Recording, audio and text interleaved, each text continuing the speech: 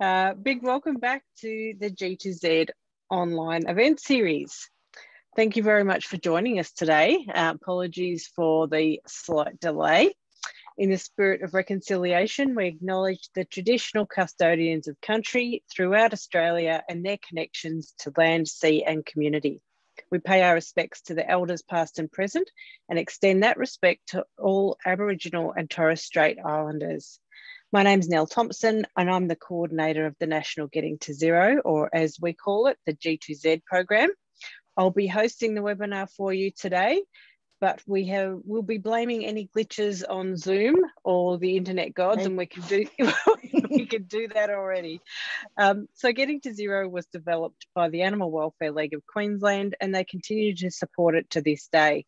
G2Z offers its consulting, support, and educational services at no charge to local governments and not for profits across Australia. Our focus continues to be on companion animal welfare and management issues such as strategy, legislation, operations, programs, and community engagement, working towards reducing intake to pounds and shelters and keeping pets in their homes. We invite people to take a look at our website at g2z.org.au, sign up for our regular e-news, connect with us via social media, and to get in contact with us to see if we can help or to have a chat about the issues that are facing your community or organisation. So to today's session, once I hand over to our presenter, there'll be around 50 minutes of presentation and around 10 minutes of question time once the presentation has concluded. The recording of this webinar will be accessible via our website to everyone to watch at any time. We're going to ask that everyone mutes themselves during the presentation unless our presenter indicates otherwise, and if you have questions, you can start putting them in the Q&A section and we'll get through as many as we can at the end of the session. If you have very quick questions that relate to your understanding of the content, put your hand up and we'll try to get to them during the presentation. As always, please excuse any working from home background noises that may filter through. I am very happy to introduce to you today Kate Kemp. Kate is the operational manager of Campaspe Animal Shelter, a position she's held since 2010 when the shelter was managed by the Lost Dogs Home and then transitioned across to council management in 2016. The Campaspe Shire Council Animal Shelter won the Companion Animal Rescue Awards Outstanding Council Animal Shelter Award in 2018. Kate grew up in Auckland, New Zealand, attending Long Bay College before studying her chosen career as a veterinary nurse in 1994. She's obtained a number of qualifications over the years and has worked in a range of roles in the animal field, including at the Auckland Zoo, as an educator and program manager at a TAFE, and as a qualified veterinary nurse within private and animal welfare practices throughout New Zealand, United Kingdom, and finally Australia. Kate is passionate about animal welfare and part of her role enjoys hosting and attending events to increase the focus of community engagement and understanding of the animal shelter and the services it provides. So over to you, Kate. Thanks, Nell. Um, I hope you can all hear me and I apologise for any um, technical difficulties. This is my first time on Zoom. Um, let's see if we can get this to work. Yes, okay, cool. All right, so um, just so you know, the Shire of Campaspe is located in north central Victoria. It's about 180 kilometres um, north of central Melbourne. Um, so it covers an area of approximately 4,500 square kilometres. And we have an estimated population of um, over 37,000 people. It's a predominantly rural area, um, so lots of dairy farming, vegetables, feedlotting, cat, uh, beef, beef, cattle, um, tourism, etc. Um, in the last financial year, council had 7,881 dogs and 2,538 cats registered with council. So, um, as Nell said, uh, originally uh, the Campaspe Animal Shelter was run by the Lost Dogs Home and prior to that, the RSPCA. Um, at the end of October in 2016, the Campaspe Shire Council took the services or the management in-house for the first time. Um, obviously, we Campaspe Shire Council was deemed as a proprietor under the Code of Practice for the Management of Dogs and Cats in Shelters and Pounds in Victoria. And given their statutory role um, in relation to the control of domestic and non-domestic animals, um, they've brought the two functions together, providing a full service for animal surrender, seizures, um, and adoptions. So uh, they chose to continue along with the, being a pound and shelter. Uh, covered that. um, sorry, back to that one. Um, on average, we see around 1,100 um, felines and canines impounded each year. Um, so about 60% of that are felines and 40% of that are canines, which I'm sure most people have a similar theme. So um, in March of uh, 2017, um, we commenced uh, the volunteer program at the Campaspe Animal Shelter. So there was one prior uh, when it was a Lost Dogs Home. Um, and then obviously with the changeover in management, um, council then held discussions with internal and external stakeholders um, to work out whether or not having a volunteer program would be suitable for the shelter. Um, they already had a council framework um, for volunteers, so that was easily easy to be applied to, to the animal shelter. Um, in their discussions, they, their overall findings were that a majority of the risks carry a low risk profile, um, that volunteering of this type is anticipated and being specifically catered for in Victorian legislation. And the use of expression of interest process um, helps to ensure that the right volunteers are fitted to the available roles and that more than likely the benefits will outweigh the risks. So once council approved us to go ahead with these volunteer programs, we did um, quite a bit of media and we did a community information session um, of an evening and we had around 40 participants um, from the Shire attend that meeting.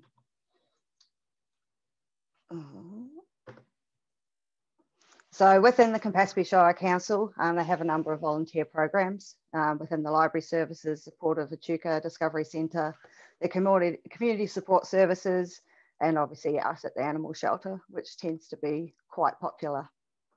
So all our information is advertised on the council webpage. Um, and when volunteer positions become available, they are advertised there. So we have two roles um, within the animal shelter. One of them is animal shelter support.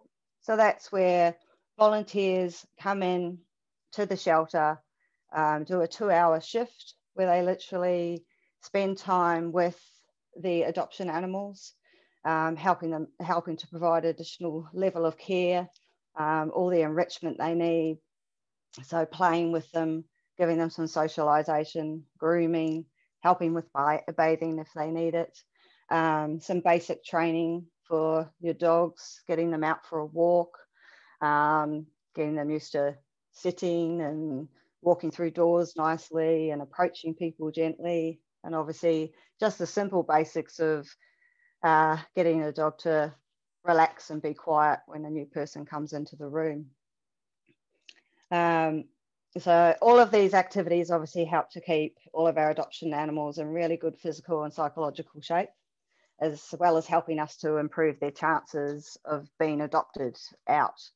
Because it's not just the shelter staff that they're seeing every day, they're seeing different people coming in. So within that, there are basically 10 roles. So we do Monday to Friday, and there's two shifts, a 10 till 12 or a 2 till 4. Um, so basically, there 10 different people who come in throughout the week, giving those animals different people to interact with um, and starting to get used to that. In a lot of cases, particularly with dogs, they see the workers there in their uniform and they recognize that. When somebody else comes in, they're not sure who they are, they can cower to the back or they can jump around and carry on like pork chops, so to speak. Um, so the volunteers certainly help with giving them different experiences. So the profiles for these volunteers is obviously a desire to volunteer. They do have to be over the age of 18 years. um, a strong passion for animals. Uh, previous experiences of looking after animals is always desirable, but you know this is simple as having a family pet at home. Um, a general understanding of what the role of the shelter does helps them to understand, but they tend to learn more when they come in, which is a, a real positive. Um, obviously, the ability to follow the guidance of the shelter staff um, and being able to come in for those few hours each week. In the ideal situation, we have them the same day and hour each week. Um, but in some cases, there might be people who can only do it fortnightly, so we can switch them around in those days and hours. Then we have our animal foster care. Um, so this is a, another really important drive and probably one of the most important, particularly in kitten season. Um, so people are obviously, um, one, they can provide just some short-term relief, um, which is a vital form of support um, that mainly requires maybe a weekend or a week to give a um, longer-term resident some time out of the shelter. Um, and then obviously to the longer term, which is your juvenile or mum and litter fosters. So these could be from two to eight weeks of time, depending on obviously the age of the animals. Um, so with this again, it's, it's much the same as the in-shelter support, um, but obviously there's a bit more involved because they are taking these animals into their homes and they are caring for them solely on their own um, with the support of us, but we're obviously not there every day. So um, having a little bit more extra experience and understanding, um, being able to follow obviously our written foster care plans, the time and willingness to spend with some of these animals that need just a bit more, um, and obviously open to us doing inspections on a regular basis. Um, we tend to do inspections um, obviously once somebody's approved as a foster carer, which I'll go into bit further later. Um, and then we do it every 12 months, but obviously have within our um, contracts that we we may do those um, more regularly, dependent on the situation and the animal that's in foster care. Um, our foster cares are supplied with all the appropriate food, treats, litter, bowls, leashes, medications, etc., etc um, as well as obviously guides and foster care agreements to help them with their particular foster. Um, when council was looking into the volunteer um, services, they uh, had concerns around um, obviously whether we supply or we don't supply. Um, obviously supplying um, the supplies to the foster carers, they're looking at the cost factor, whereas if they supplied it themselves, obviously it would save council. But all in all, um, it it doesn't save in the sense um, we were going to always have to buy those supplies, um, whether the animal remained in our care or went to foster care. So um, we actually save in the long term of them going out to foster care because they're not sitting within the shelter and taking up space. And obviously they're getting a lot more enrichment and socialisation that they need. So a very valuable tool to have. Um, insurance, so under council, volunteers are insured, insured as volunteer workers. So they're still classed as workers um, whilst they're carrying out their authorised activities with council. Um, but they're not entitled to work cover um, as there's a lim limited liability insurance for injury. Um, so the insurance is through MAV insurance um, through the public and products liability and professional indemnity policy. Um, so if they were to be driving one of our council vehicles, which they don't within our roles, but within other roles in council they do, then um, they are obviously covered. But um, within the role of a foster carer, where they're obviously coming out to collect the animals and taking them home, um, they obviously need to get their making sure that they have their own insurance to cover their car. Um, what's not covered is obviously any criminal act, criminal activity, such as um, obviously um, driving incidents, dishonest or reckless activities, any personal property loss or damage, ambulance costs. So, as we are all encouraged to do, to get ambulance membership, Um, and uh, yeah, that's pretty much it. Basically, it's it's the volunteers are covered um, for any sort of basic injuries that were if they were on site, um, but um, it's more what Medicare can cover. Uh, the, our annual um, animal foster care agreements um, were also reviewed by council's governance team and our council insurances to ensure it was all signed off.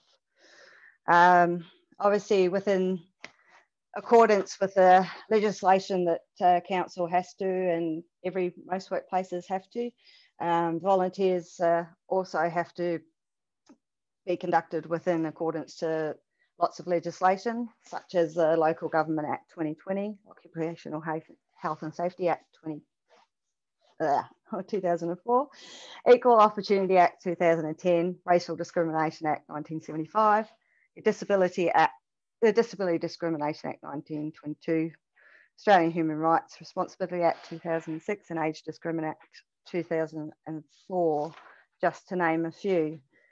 Um, also under obviously the volunteer programs, council has um, a number of approved policies and procedures that they also have to abide by.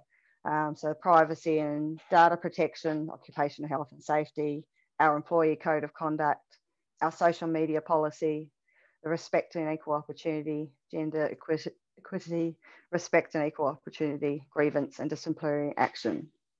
So they are classed as staff.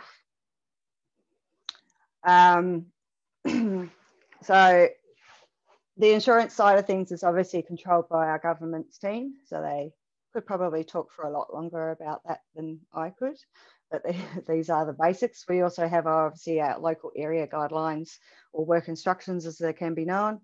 Um, and uh, making sure that they are provided with the supervision and guidance and advice that they need. Um, when also checking of doing discussions around opening up to volunteers.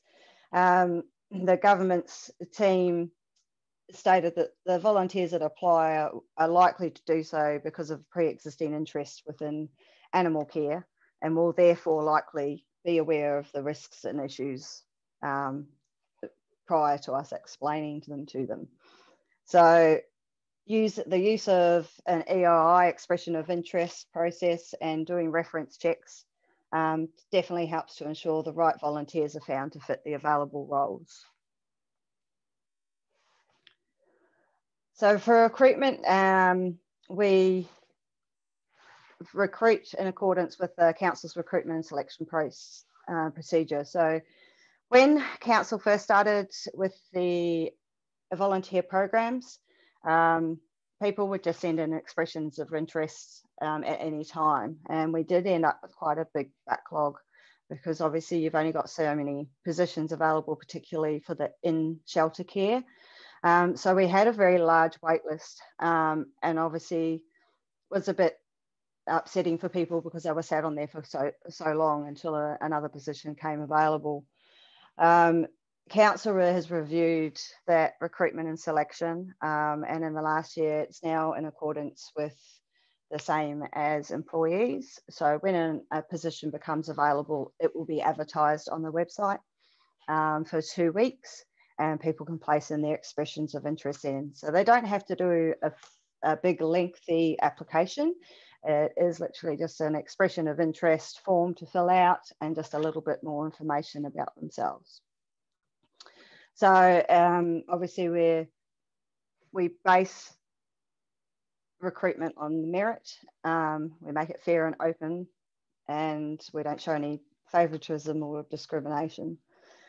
So our volunteers um, are only engaged to do things that a staff member wouldn't be um, engaged to do.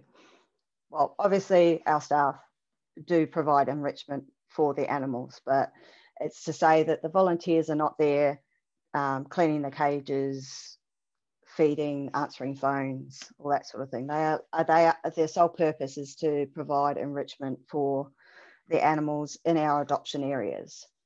Um, so they only spend the time with the animals that have been assessed um, as suitable for rehousing. Um, I feel like I'm missing a step here. Go. Oh, yeah. So recruitment steps is obviously we have to um, review the recruitment needed. Um, so is there a, an opening available? We also always have to review the position description. So same as staff, volunteers have a position description. Um, and we ensure that each time we go out to recruit that that is up to date um, so that we're not set, uh, setting them up with the wrong information. We have to do an authority to recruit form to be signed off by management prior to advertising going ahead. And then, as I stated before, they advertise on the website um, for up to two weeks. Um, we also obviously pop that out on our social media to say that they're um, that we are recruiting. Um, so we have our own social media for the animal shelter on the Facebook, um, but council also has their own Facebook page that they will also put their information out on as well. So once um, applications come in, we obviously compile those applications. Um, we take a look through obviously their experiences at fitting the key selection criteria, um, then get um, them selected and booked in for an interview. So in the interview, it's again we still do an interview, but it's not um, as I guess invasive as uh, becoming an employee. So you don't have a panel of three, you don't have a 20 minute interview. Um, it's a little bit lighter. So the interviews are with myself, and I do quite often try to have either the volunteer coordinator uh, for council or another one of my staff present as well, because um, it's good to have the two different views and also ensures that we are being fair and equitable to the applicants. Um, in the interview, we will we just ask some basic questions. Um, most of it's covered obviously in the original application. Um, so we just ask them to sort of describe what they think the role entails um, and what demands there might be to see if they've got a, a good understanding of what we're asking people to do. Um, obviously, what appeals to them. Um, uh, that they becoming a volunteer, they do become a part of our team. Um, so, can they demonstrate to us in their work life what sort of teamwork that they've been involved in and how they would contribute to our team? because uh, they are a very vital part of the team. Um, obviously, their experiences with animals, um, health and safety. Do, do, they understand the health and safety aspects of working with animals? Um, obviously, talking about confidentiality as well. And then, obviously, in the foster care, um, asking them about their home environment, um, why they think they are suitable um, to do home foster care um, and to whether they own or rent their, their home. Um, so, do they need to get permission um, if they are renting to go ahead? Also, obviously, an opportunity for them to ask us some more questions. Um, it's as in any recruitment, it goes both ways. Um, the candidate is also interviewing you, as well as us interviewing them. So we always have to remember that it goes both ways. Um, as with uh, Victorian government legislation, um, all council workers, including volunteers, uh, must have proof of double COVID vaccination. Um, so we don't ask for that at the time. We'll ask if they are vaccinated, um, but only one member of council will um, obtain that proof so that we're keeping the confidentiality prior to moving forward. Um, obviously do reference checks as well. Um, again, uh, we still do two reference checks, uh, but the questions obviously aren't quite as intense. Um, they don't have to be managers, they could be um, family or friends, so people that know them in their home environment and their background of looking and caring for animals.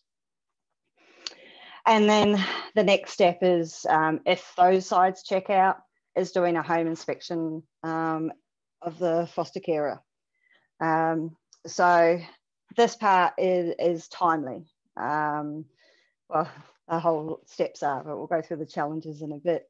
Um, so we will go out and obviously inspect their home to ensure that it's suitable for the types of animals that they're looking to foster. Um, looking at the areas where they're going to keep them, um, obviously giving some maybe some feedback. In some cases, they may need to just make some adjustments and we might have to go back again. Um, but nothing is going ahead until we're comfortable that the home is a safe environment for our animals to be cared for in. If the um, applicants are unsuccessful, uh, we give them a call to notify them and we will provide them with feedback. So it's not just a straight up, sorry, no, um, thanks for coming. Um, obviously, making sure that they do have the feedback uh, the same as people when they apply for a position so that they know what they need to look at to change maybe in the future to become a successful applicant. So successful applicants um, obviously are called to advise that they are successful and then the paperwork trail begins. Um, so we have to fill in an employee payroll details form to be approved by management, um, then it's sent on to the volunteer and training coordinator at council who uh, then organises the volunteer letter of offer, sends them out the copy of the role description, our volunteer agreement, um, our volunteer care handbook. Um, it also compromises of the safety induction. Once they've received all of that documentation, then um, we organise a day and a time for them to come into the shelter um, where I will sit down and do a local area induction with them. So whether they be a foster carer or an animal shelter support volunteer, um, we still do the local area induction because the foster carers are still coming on site. But it's also good for them to know what the other roles are um, and a bit more about them, about our structure, how, how we do things, and obviously to go through our legislation that we have to abide by, our health management policies, OH&S, zoonosis being very important working with animals, um, animal behaviour and handling, and um, positive reward to training, uh, confidentiality and enrichments. So covering a number of assets to try and set them up for success. Excuse me. So there are challenges to initiating these types of programs and time is one of the biggest ones. So the time for the recruitment, obviously the, the paper trail you've got to go through to, to get the recruitment up. The recruitment's up for two weeks. Depending on the amount of applications you get, will depend on how long it takes you to, to whittle them down. Um, obviously doing the interviews, doing your reference checks, and then for your foster programs, doing your home inspections. So that all takes time. Um, for obviously a foster carer, because there's additional steps with the home inspections, it can take a couple of weeks, obviously, to be able to set the times in to be able to go out and do the house inspection um, and then move on to the next steps. the induction, again, we get them in for a couple of hours um, to show them around and, and take them through that um, on-site induction. We don't want to rush anything. It needs to make sure that we do give them the information that they need. For your foster carers, um, through the Victorian legislation, um, every single animal that goes out into foster care has to have an individual agreement. So they have to be assessed by the veterinarian, which we would want that done anyway. Um, and then we have to devise an agreement for that animal that covers everything that that animal's care requires. Excuse me. Um, we do have um, care books that we've designed so that they can reflect back to those. Um, so we might, to minimise, I guess, a bit on the agreement, stating to see pages five to seven if it's a juvenile, or pages eight and nine if it's, just for instance, if it was a mum and kittens. But we also obviously go through with them when they're there exactly what these animals require and when. Um, vet assessment for us, we don't have a vet on site. So it's obviously making an appointment to get them to the vets. So the time to the travel, getting the appointment, trying to make everything sort of work in um, can be quite timely. But again, benefits outweigh the challenges as much as time is uh, um, taken away. There is time gained within the shelter itself uh, because these animals are placed out into homes, so therefore freeing up space within the shelter. So, um, you know, you could be having a few out at once. Um, so there gives you six cages back that um, that's time that you don't have to clean. Unfortunately, in kitten season, as we all know, they are very quickly refilled. Um, the community is really important and having these programs helps um, to build your relationships with your local community and helps them to understand better what you actually do. The animals, well, it's massive for the animals. As I said before, they're seeing different people, not just the same people day in, day out. So their enrichment and their socialization is just greatly improved. Um, so rewards definitely outweigh the challenges. So since our foster care program was implemented by council, um, we have placed 379 animals into foster care.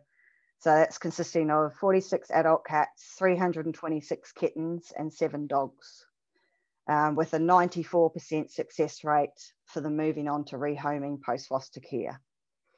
Um, unfortunately, with uh, mums and bubs or juveniles, you do see some unfortunate unassisted deaths in juveniles, um, but uh, a, a, very low percentage given the number that we do go through in the end.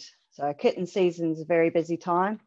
There are times when we might have uh, mum and bubs that she has a large litter, that we are a little concerned about how they're going to cope, that we may keep those in the shelter um, for longer to ensure, obviously, that we can get them checked regularly and that we're happy that they are progressing well. Um, and once that we're confident and comfortable and the vet is comfortable, um, then we would look at putting them out to care. Um, so in March this year, one of our um, foster carers, um, Valerie, did a lovely little article in the Campaspe Times and um, she originally started with us in an uh, animal shelter support role in 2018 um, and learned a bit more about what foster care was. So then in 2019, she became a animal foster carer. Um, so she was unable to dedicate her two hours a week anymore for us in the shelter, but she changed that around and, and took the animals home for us. Um, she since obviously COVID has settled, we've gone back to some sort of normal. Um, she has been spending a bit more time traveling again, but that doesn't stop her from being a foster carer. If she can take some for a, a couple of days or a couple of weeks, it benefits us. Um, as you'll see by her article, um, she really enjoys um, helping out. Um, she has cared for over 30 kittens um, in her short time. Um, and she really loves having them there and, and helping them to learn. Uh, she does find it hard to let them go at the end of the day. But obviously, the reward is she gets to have the love and the companionship. Um, she gets to help them grow and give them the best chance of being rehoused. Um, so she feels like she's got a pet, but yeah, she doesn't have all the responsibility of having to care for it all the time. Um, the fact that we supply everything makes easier for them as well. Um, they always have someone they can contact, generally me, um, at any time, including weekends if they have any concerns. Um, and um, I quite often will do house calls. Uh, so I guess there's another time part. You need to be a bit dedicated, but sometimes that's what is needed, particularly when they're first starting out um, in foster care. Um, but as you can see, Valerie thoroughly enjoys it and she encourages everyone to, to get on board. In our other role, um, shelter support, we have Christelle. Christelle's been volunteering with me for 11 years now. So she was with us when um, it was a lost dogs home. And then once council took over, as soon as they advertised for volunteers, Christelle had no hesitation whatsoever in reapplying for the for the role, and of course was successful. Um, volunteer, uh, Christelle um, has mild autism and intellectual disability. Uh, her passion for animals is just completely infectious, and her knowledge is second to none. Um, she is an absolute vital part of our team. She she knows those animals 10 times better than we do half the time. So sometimes it might be we haven't had a chance to spend some enough time with an animal. We're taking people in, we're giving them a rough idea of what we've seen about this animal. If Christelle's in there, we're getting her feedback um, to help us uh, update these potential adopters or whether it would be the best suit for, for them or not. Um, she takes great selfies when she's in the shelter. Um, so that's another thing that's important to do to encourage them to have their cameras or their phones on them and taking photos and sending them through so we can update their profiles. Um, she gives us feedback every time she's in there, uh, letting us know who gets on with who, um, any quirks or anything that they have. So again, we can update those profiles if it's not already in there, which really boosts the chances of these animals being adopted. The more you can do that, the better and, they, these guys can get some fantastic photos. We have other support options as well. So obviously being having to be over the age of 18 restricts people for being able to volunteer because um, a lot of the younger generation would like to. So I've developed an enrichment guide so that people can um, take these home and see what, what we, we do to make up enrichments by using household items. Um, we have a number of community groups that get involved with this, um, which is also great. So recently uh, approached by the Girl Guides who want to get an affiliation and they were really excited about the enrichment guide. So what they'll do is they'll make some up um, and then they'll organise a time they can come in and they can hand out that enrichment to the animals. So it's a win-win. Um, so it's real basic, really basic things. I haven't put the full guide in just pictures, but um, it's a really good idea to sort of let people know what things are valuable to you. So newspapers for lining cages, um, a simple thing that people get their newspaper delivered every day, but they don't think about it actually being used for anything else but putting in the recycling bin. Cardboard boxes, toilet rolls, um, bottles, bottle tops, blankets, towels, ropes, uh, sheets, um, so we make things like pinwheels, so nice and easy for the younger kids to make. They, their animals can play with them, then they can send some out for us too. Um, we use the toilet rolls for canine treats as well, bonbons for the cats. Uh, hanging balls, a little bit trickier to make, um, but really great for sticking on the front of the cat cages. They love playing with them, usually destroy them very quickly. But again, something that somebody who can't dedicate their time to the shelter um, could do sitting on their couch and feel like they're contributing. Uh, pom poms, I'm sure everyone's made them the old fashioned way. You can actually buy pom pom makers now, so you don't have to do it with the cardboard. We make our own rope toys out of old sheets, um, snuffle mats, obviously out of old blankets, um, tennis rope toys, scent pouches, the list goes on. Um, we also uh, cater for work experience. So um, this is a really helpful tool as well um, for those that are contemplating or pursuing a vocation in the field of animal care. Um, it gives them the experience that they need. Um, it gives you an extra pair of hands. Um, and it also gives you the possibility of um, opening up your casual pool um, of staff because when they're coming to do their work experience, um, they could potentially be somebody that would be suitable for recruitment when you're looking for casuals.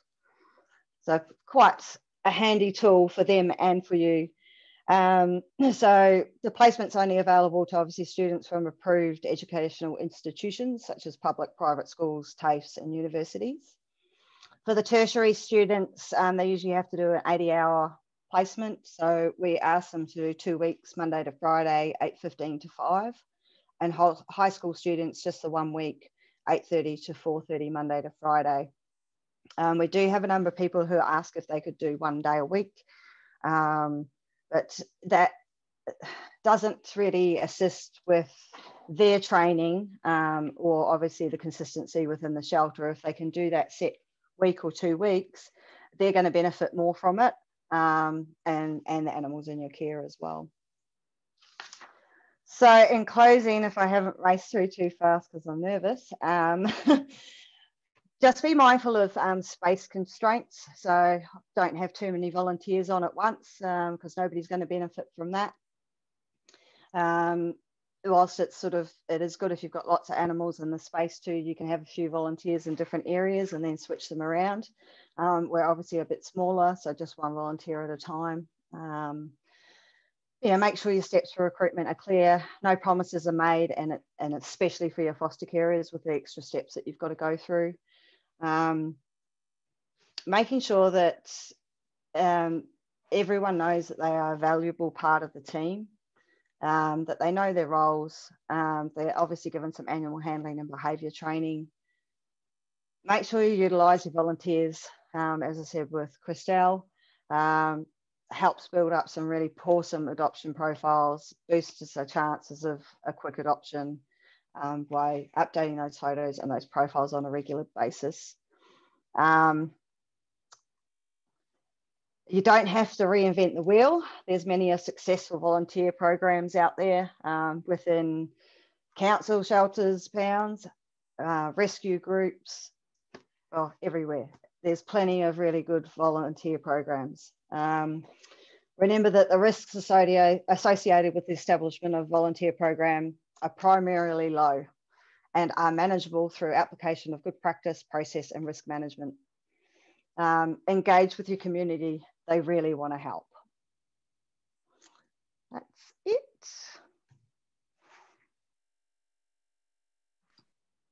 Fantastic. Thank you so much, Kate. Um, I'm not sure whether I can put my video on or not because Kate is hosting, but that's okay. Um, any questions? So well done. You're a pro at this already. Oh, I, I don't got, know.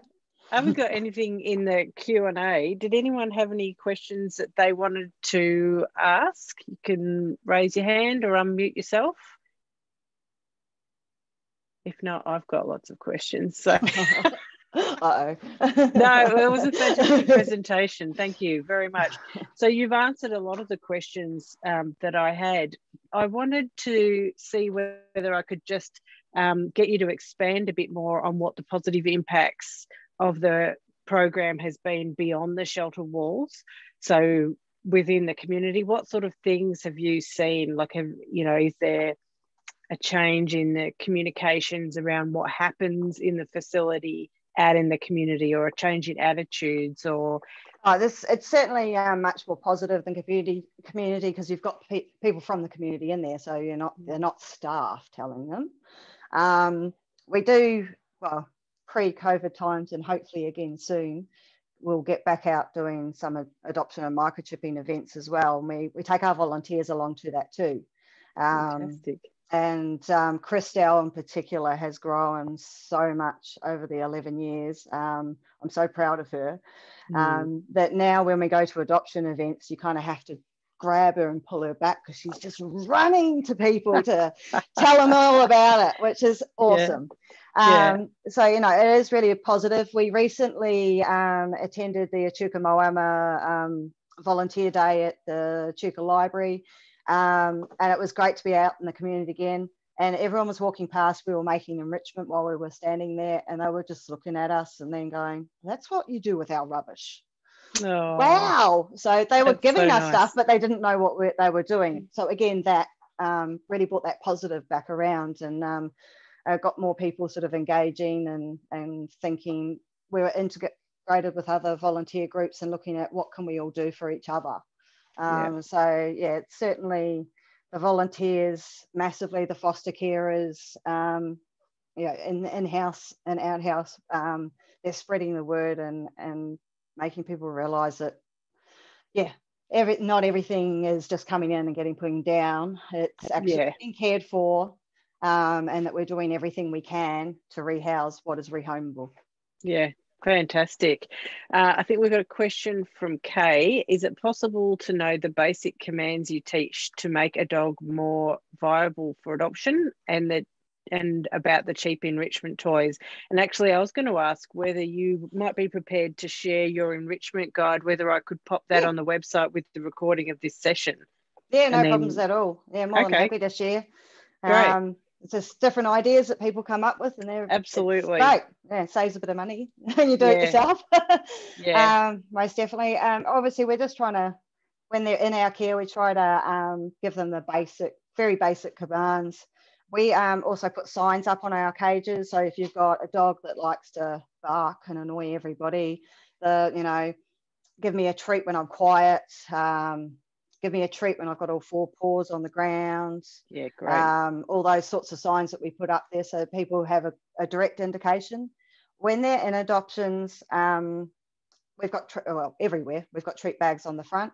So we also encourage when we have members of the public to coming for a walkthrough um, to have a look as, or when you go past, if, if any of them have been quiet, can you please throw them a treat? So you're getting used to other people doing that as well. Um, and then obviously getting them out for those basics of, um, you know, exiting through the door uh, nicely, um, the basics of sit. The sort of toilet training obviously is a little bit harder, but um, with with the dogs, we're very thankful that they don't last very long. Um, we haven't needed assistance with dogs in a very long time. They're once they're desexed and ready to go, they're gone within a week maximum, um, usually 24 to 48 hours. Amazing. Mm. Amazing. Yeah, that's fantastic. Okay.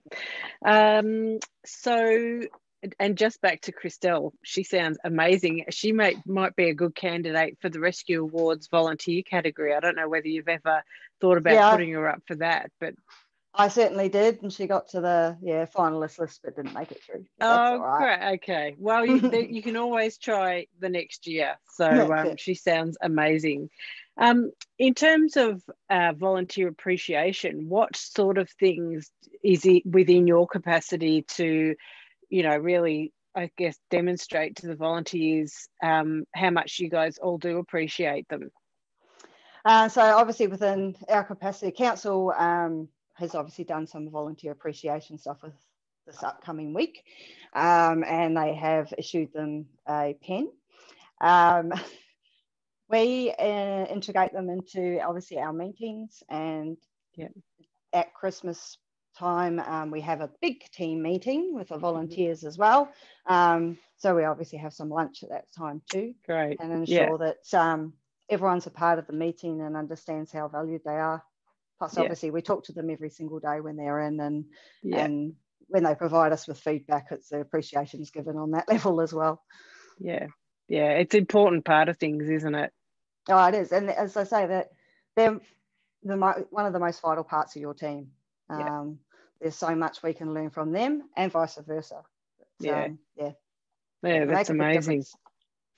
Um, and just back to the risk management stuff, do you have any idea of, um, you know, the number of sort of incidents that the volunteers might be involved in at the shelter? Like, you know, in Oh, terms of, um, yeah, Very, very small amount. Um, Yeah.